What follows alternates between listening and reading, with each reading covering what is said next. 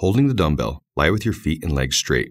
In one movement, simultaneously lift your torso and legs off the mat towards each other. Then return to the starting position.